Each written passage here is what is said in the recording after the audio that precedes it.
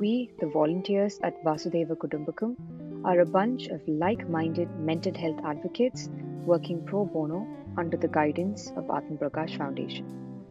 Our aim is to spread mental health awareness and to help create an environment that is empathetic and safe for those going through mental health concerns.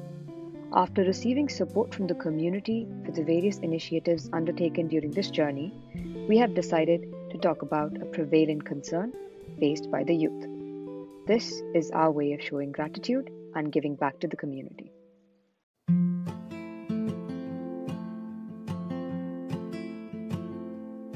हे देर अगर आप ये video देख रहे हैं तो आप ज़रूर फेमिलियर होंगे इंटरनेट से इंटरनेट की अच्छाइयाँ तो हम सभी को पता है कि कैसे सिर्फ़ कुछ क्लिक्स की दूरी पर हमें पूरी दुनिया की कोई भी इंफॉर्मेशन अवेलेबल है पर आज हम बात करने वाले हैं एक बहुत बड़ी परेशानी की, जिसे आज के समय में सारे लोग फेस कर रहे हैं, चाहे वो बच्चे हों या बड़े and that is internet addiction internet addiction refers to a compulsive need to spend a great deal of time online to a point where other areas of life such as relationships work और health are allowed to suffer and the person needs to spend more and more time online to achieve the same high चलिए अब देखते हैं कुछ signs and symptoms internet addiction के।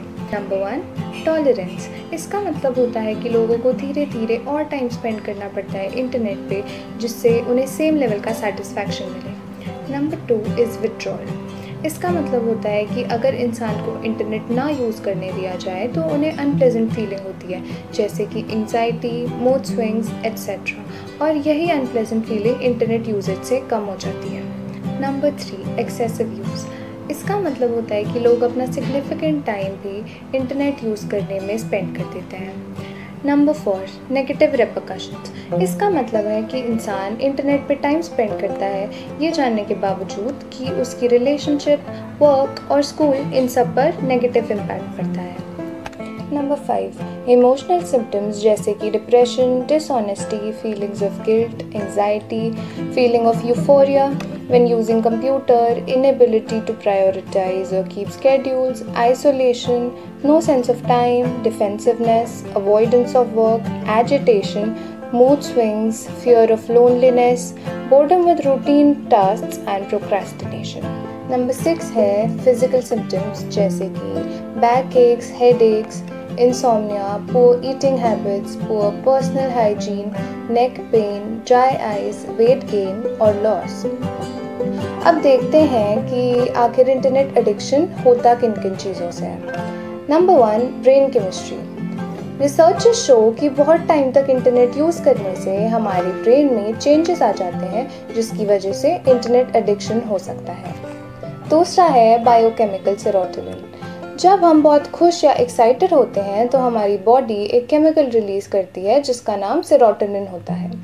अब ये serotonin जो कि गेम जीतने की वजह से या फिर ऑनलाइन लॉटरी में सिलेक्ट होने की वजह से या फिर न्यू पोस्ट देखने की वजह से रिलीज़ होता है इंटरनेट एडिक्शन कॉज कर सकता है। नेक्स्ट है पियर प्रेशर क्या आपके साथ कभी ऐसा हुआ है कि आपको कोई काम या चीज़ पसंद ना हो, फिर भी आपने वो काम किया क्योंकि आपके फ्रेंड्स उसके सपोर्ट में हैं? जैसे कि सोशल मीडिया में ट्रेंड्स के साथ चलने के लिए पोस्ट डालना या ऑनलाइन गेम्स खेलना या जल्दी रिप्लाई करना। क्योंकि आप अपने फ्रेंड्स को ना नहीं बोल पाते। इस वजह से भी इंटरनेट एडिक्शन हो सकता है। नंबर फोर स्ट्रेस जब हम किसी चीज़ को लेकर परेशान होते हैं तो कभी कभार डिस्ट्रैक्शन के लिए इंटरनेट का यूज़ करते हैं। कभी कभार ऐसा करना इतना हार्मफुल नहीं होता। लेकिन हर बार इंटरनेट का यूज़ करना to cope with life stressors can lead to internet addiction अब हम बात करेंगे three types of internet addiction की।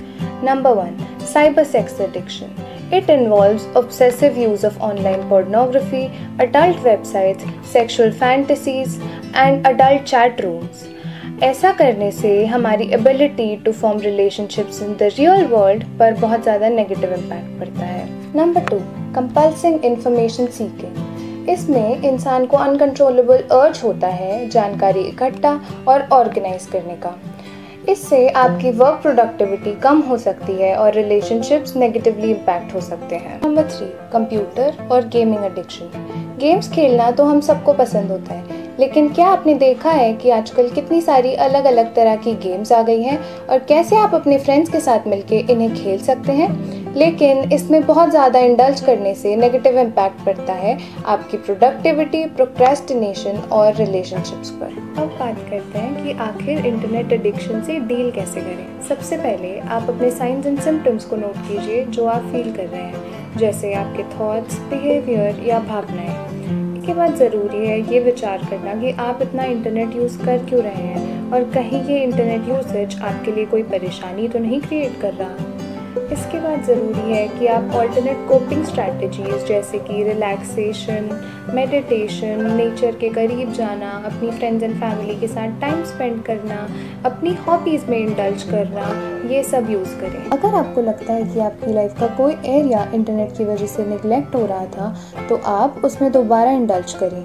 जैसे, अगर आप अपनी स्टडीज़ में ध्यान नहीं दे पा रहे थे गेम्स खेलने की वजह से तो आप थोड़ा टाइम स्टडीज़ को डिवोट करें। बहुत बार हम पीयर प्रेशर की वजह से भी इंटरनेट यूज़ जैसे कि सोशल मीडिया या गेमिंग करते हैं। तो ज़रूरी है कि आप अपने फ्रेंड्स को ना बोलना सीखें हेल्दी बाउंड्रीज बनाएँ और अपनी लाइफ के सभी एरियाज़ को अप्रोप्रिएट टाइम दें। एट लास्ट किसी भी एडिक्शन से डील करना बहुत कठिन होता है शारीरिक और मानसिक रूप से। तो अगर आपको ये फील हो कि स्थिति ज़्यादा गंभीर हो गई है तो प्लीज़ प्रोफेशनल हेल्प लेना ना भूलें।